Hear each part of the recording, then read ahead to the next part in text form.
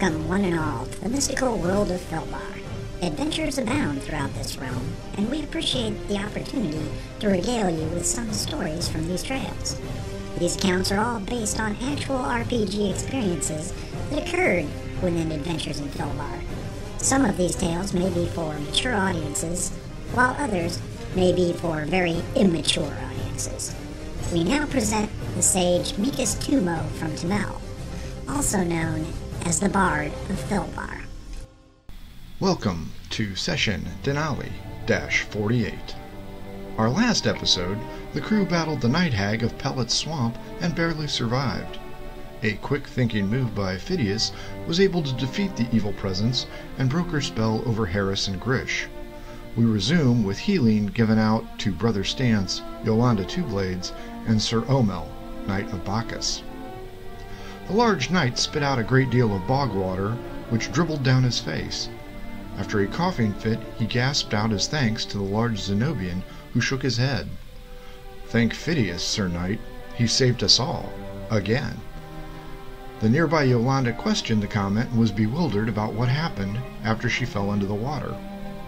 Brother Stance crawled over to his wounded comrades and also inquired as to the events that had transpired. Harris the mage approached with the last of the healing potions and offered an explanation. The bog witch must have been quite powerful as the globes of entrapment are rare indeed.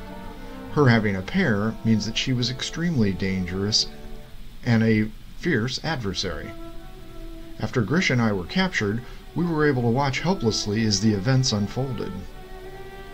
Harris and Grish took turns explaining the events that had transpired during the battle, and it quickly became apparent to the trio that they were indeed lucky to be alive. So, you mean that damn snake actually came in useful? blasted the knight. Stance and Grish shook their heads, and Omel exhaled deeply. Well, I guess I owe the gnome an apology then. He looked around to Phidias, but did not see him. He began to call out for the rogue, and the others added their voices, concerned for his well-being. After a few moments, a hollow-sounding voice screamed out a response. Hang on! I'll be up in a minute! The group followed the voice and discovered an old, moss-covered altar atop some high ground. Runes covered into the old stone could not be deciphered by Harris, who attempted to translate them. The others looked around but still cannot locate the smallest member of the group. After several minutes of puzzled searching, the group circled around the stone box and waited. Moments later, a panel on the base of the altar grinded open, causing all to jump back. A cobwebbed covered gnome crawled out from the stone box, armed with a strange sack and several scroll cases. Wiping the fibers from his face, his broad smile put everyone at ease. That old witch lives underneath this altar. If you thought the swamp smells bad, you need to go down into her hovel. He abruptly deposited his looting atop the table and spread it out for all to see.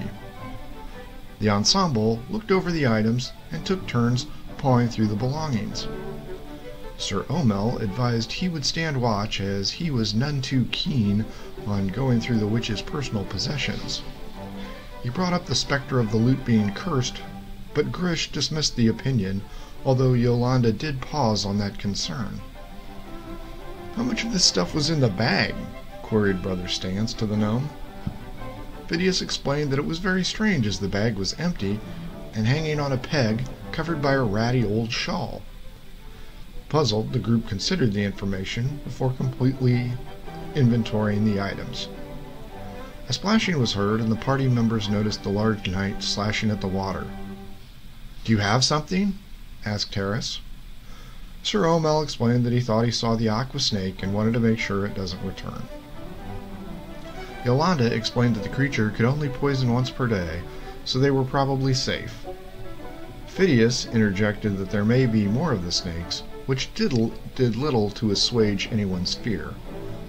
After a better inspection, the group returned to the inventory to determine what, if anything, was of value. Do we have to do this in the swamp? asked Yolanda as she swatted another insect from her skin. It's going to be dark soon, and I can think of better places to be.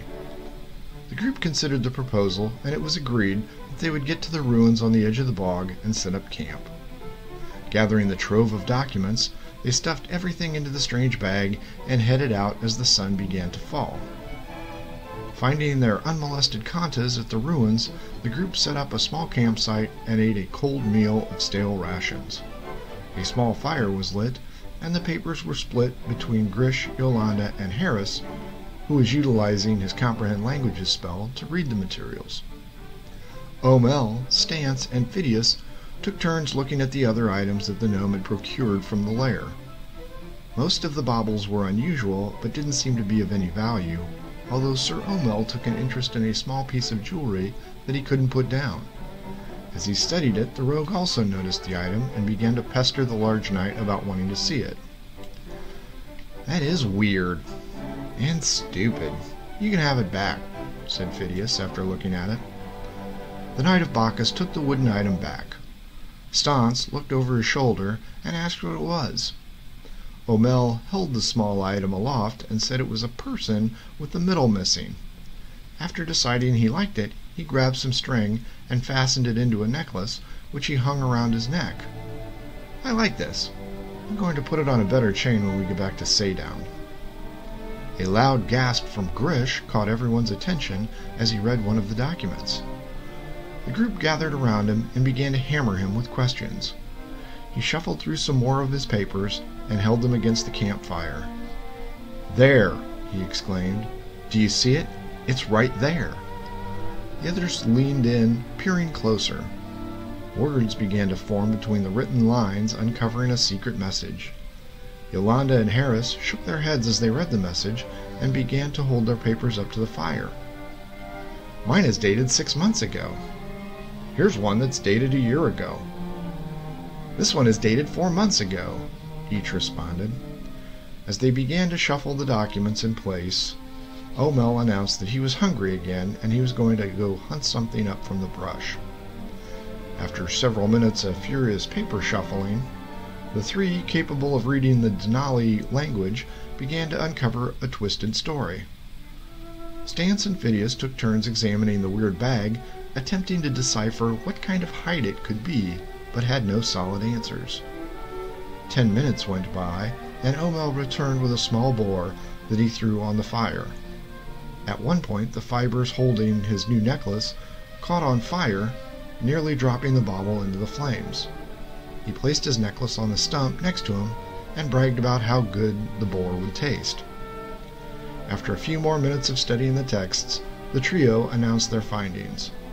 The papers showed that Pellet had been deceiving people and wasn't human after all. Omel, Stance, and Phidias stopped eating their boar and asked what he was. A concerned Grish furrowed his brows and glumly announced, Pellet is an Arcanoloth. Surprise covered everyone's face, and the stump Sir Omel was sitting atop of cracked in half, landing him on the wet ground where he sat slack-jawed. We close out this episode now and give you our thanks for listening. Please subscribe to this podcast and don't forget to follow us on Twitter at The Bards Podcast. For everyone in Adventures of Philbar, thanks for listening.